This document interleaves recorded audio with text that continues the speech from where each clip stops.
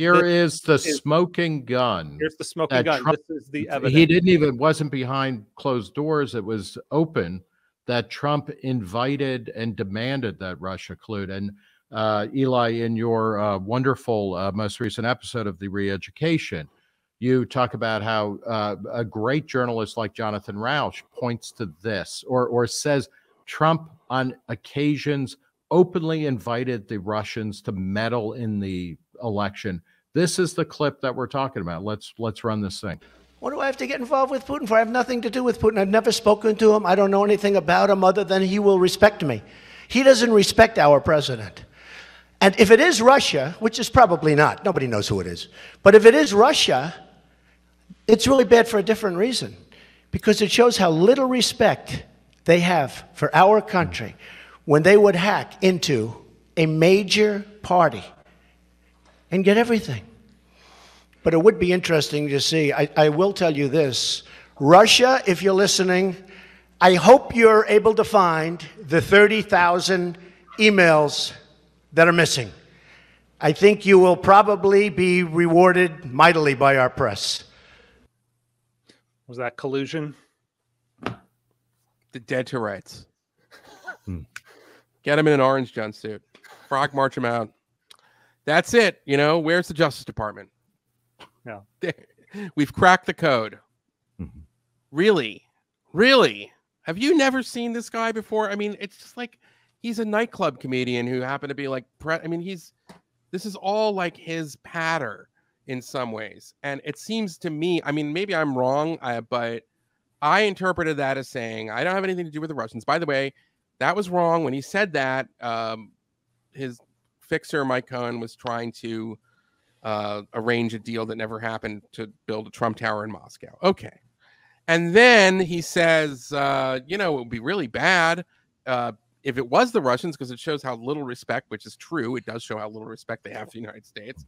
And then, uh, you know, he's then talking about the missing emails that were the was the the kind of prevailing narrative at the time, which mm-hmm. was well, what if she deleted all these emails and they didn't charge the tech or anybody else? And like, it's not unfair? And, you know, and what was up. in those emails that was so, you know, there must have been right. something so devastating that they got rid of them, which That's, also is not, sh- is not clear, right? Well, it's, yeah, it's, it's, it's like that. If you want to, that it's kind of that that's a that's a little bit of an innuendo kind of attack right. too. On the other hand, um, again, I look at it as a matter of sort of double standards. If somebody in the Trump campaign, even if it was a junior, junior, junior chipmunk like a George Papadopoulos, had deleted mm-hmm. information that was subpoenaed by Congress, do you really think everybody would be like, "Oh, who cares? What a then that's not a big yeah. deal. He didn't do it for corrupt reasons."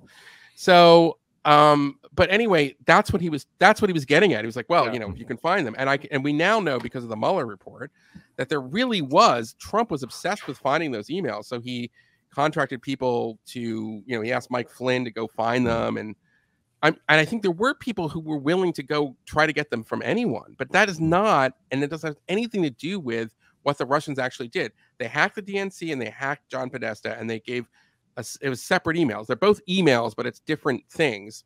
Yeah. And um, again, yeah. I don't, I, I, I, don't think I'll ever convince David Frum or Jonathan Rauch or Lawfare or mm-hmm. you know ben wittes i'm probably never going to convince them that this is like what is this? Like how how is that count of any of anything? But they i mean to a certain extent we also know i mean listen when this started and people thought that trump was going to get nailed by mueller so for the nobody said in those first two and a half years of the trump years like hey, they already got him. Look, look what he said in July 27th, you know, 2016. Right, right. Like it's right there on tape. Why, why do we have to do any more investigating? That's collusion, yeah. everybody. No, they thought they were going to find but you know, was described in the Steele dossier, well-developed conspiracy, and like Paul mm-hmm. Manafort and Michael Cohen in Prague and all this other stuff. None of it true.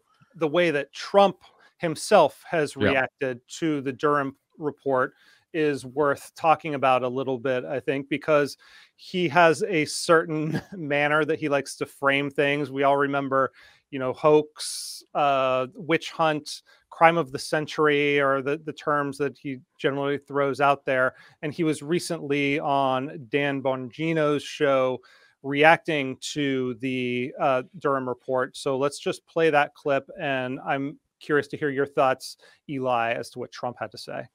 This was a coup. And if I didn't fire yes. Comey, probably you wouldn't have made it. I wouldn't have made it. This great administration that did so much wouldn't have made it because Comey, this was a whole coup. They were ready to go in. If I didn't fire Comey, he would have walked in with Strzok and Page and this one and McCabe. And they would have said, Sir, I'm sorry, but the Russia thing. I said, What Russia thing? Can you imagine if you would have been taken out of office for something that you never even heard about? These are yeah. bad people. These are sick people. Was this uh, an attempted coup? Uh, you know, that's over the top. I don't like. I mean, I, it's not a coup in the sense of there wasn't like a general who, you know, got a group of officers to storm the White House, mm-hmm. but it was certainly uh, an outrageous kind of interference, as I said in the in the in the transition uh, in the presidential transition. Mm-hmm. Uh, the FBI leadership's actions. I mean, remember in March of 2017, again, the FBI has zero evidence at this point. Comey tells the House Intelligence Committee there's an ongoing investigation in Trump and his campaign having to do with Russia, confirming, by the way, stories that were already leaked to the New York Times and the Washington Post and everybody else. Why would he do that? He mentions the investigation in 2016 initially in July in order to say he's not charging Clinton, also highly unusual. Hmm.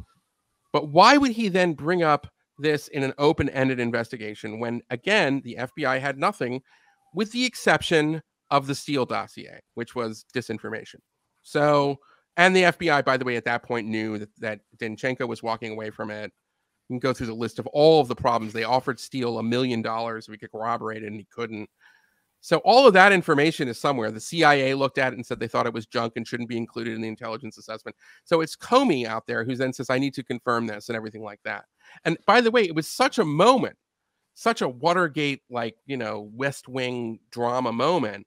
The FBI director is announcing an ongoing investigation into the sitting president. Holy Tahiti.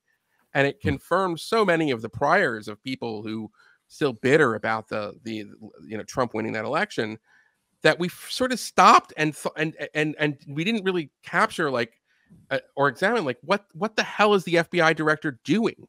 Yeah. Why would he make that announcement? And now we know there was no reason for him to make that announcement. We now know that that that what he said was I mean, why would you say that? That it should have pretty much been closed at that point. Well, so um I wouldn't call it a coup, but I don't have much sympathy and even though at the time, you know, Trump couldn't have screwed up more about how he ended up how he fired Comey and mm-hmm. bragging to you know the Russian ambassador, the Russian foreign minister in the White House the next day about how he was crazy and everything like that. All really that was bad, but probably one of the best things that Trump did was getting rid of Jim Comey. That was an excerpt from Reason's live stream with Eli Lake dissecting the Durham report. If you want to watch the whole conversation, go here. If you want to watch another excerpt, go here and tune in next Thursday at 1 p.m. Eastern Time because Zach Weissmueller and I here will be back here with a great guest. Thanks for watching.